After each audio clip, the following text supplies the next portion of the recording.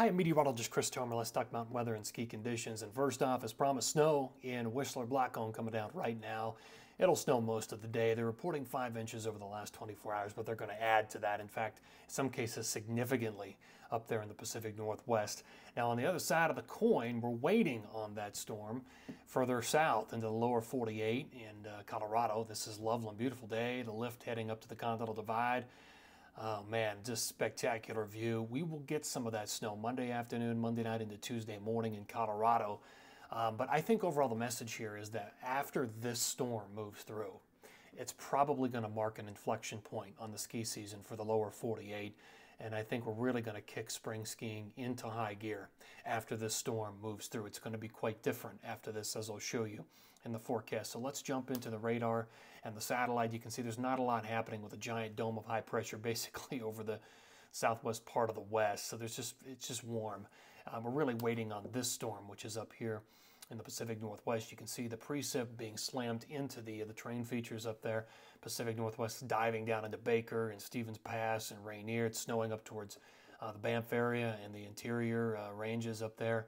So this will be good snow for a lot of those places. Now, here's the thing. The jet stream will help bring this storm to the south. You can see the dip right here. Let me see if I can't mark it. So there's your low generally right there on Tuesday. So that will snow over parts of the Tetons, then eventually into Colorado. But this is pretty fast moving, so the amounts will be limited, and it's only going to brush the Wasatch. I don't really see much more than maybe one to three, one to four over the heart of the Wasatch. It's moving too quick and it'll have a brushing motion. Now, after this storm moves through, like I said, this will probably mark a very significant turning point in the ski season look at the pattern.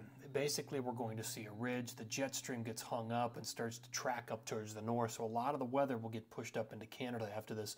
And the lower 48, uh, we're going to settle into what's going to be a rather warm, dry pattern after this storm moves through. Um, so spring skiing will definitely be kicked into high gear. Um, across the uh, the lower 40, especially the interior and the southwest part of the country. So here's the future radar and the future satellite, all that precip and that blue, which is snow, will then move down towards Sun Valley, Big Sky, western and southwest Montana. That's Monday at 5 a.m. By the time we get into Monday afternoon, Monday night, and Tuesday morning, it's moving so fast, it will already blow through the Tetons and brush the Wasatch, and then it's already into Colorado. It's already moving through Colorado by Tuesday morning. In fact, there will be some snow in the morning, but really what happens is the whole thing just moves away very quickly.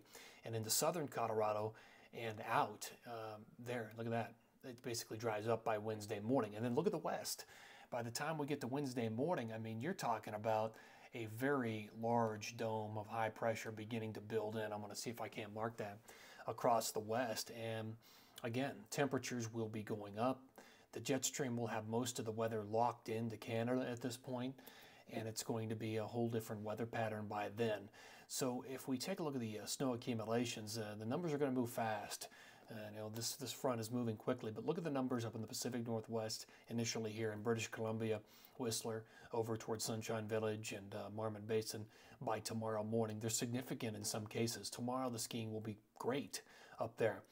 Um, you can see it anywhere from 6 to 12 on the way for the Banff area and potentially 1 to 2 feet up there in the Pacific Northwest and BC. Then the whole thing races down. So between Monday morning and Tuesday morning, we'll probably end up with about 5, 6 inches in Jackson Hole and Grand Targhee by Tuesday morning. And uh, 4 or 5 there, Bridger Bowl and Big Sky Discovery and even Colorado by Tuesday morning, looking at two to six inches there, but only one to three for the Wasatch. Now, by the time we go from Tuesday into Wednesday, the accumulation continues to sink further to the south into Colorado, and we'll add some accumulation down through Monarch and Wolf Creek.